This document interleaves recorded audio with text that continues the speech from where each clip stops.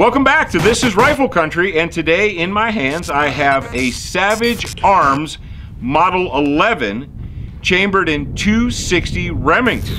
Yes, the 260 Remington is basically the forgotten 6.5 cartridge. It's kind of right there between the 22s and the 30 calibers. We have a 260, which is 6.5 millimeter, and everybody's all gaga about 6.5 now, but they've kind of forgotten about this guy. Now this rifle, specifically, obviously it's a bolt action rifle. It has a three position safety, and why is that important?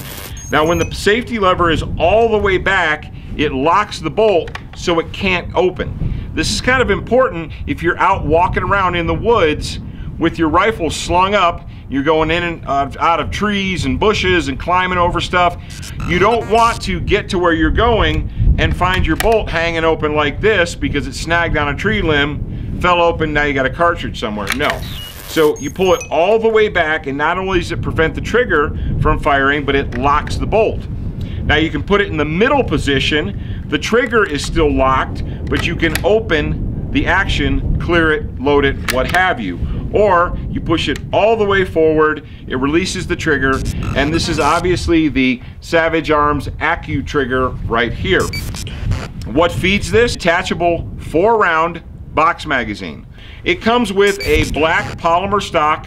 Now the barrel is free floated in the stock and it does have sling studs forward and aft and it has the grip. It's not a fancy stock. It's an inexpensive stock because these are price point guns. These guns are right around the $500 range. This rifle came equipped with a 3x9 variable power Nikon scope and what it has is a BDC, that's bullet drop compensator reticle. And you guys are like, oh, that's great, that's the best ever. Mm, not so much. A BDC reticle is more of an educated guess than an exact science because was this scope designed specifically for the 260 Remington cartridge? And you say, mm, probably not. Was it designed for the 308? Maybe. 556? Maybe. Uh, 65 Creedmoor? I don't know.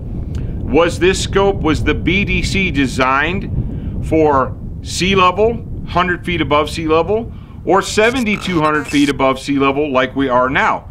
All you smart guys out there in the audience understand that the bullet impact at two, three, four, 500 yards at sea level and 7,200 feet, 7,000 feet is different. So a BDC reticle is okay, but it's not an exact science. What you're gonna need to do is you're gonna need to get out to the range and actually practice with your gun so you know where that bullet is impacting two, three, four, 500 yards. But this gun right here, it is a good, solid entry-level gun. If you're somebody who's looking to go out to shoot whitetail deer, mule deer, antelope, any mid-sized game in the United States of America, this is a good cartridge. Oh, and of course, what ammunition are we using today? Thank you for asking.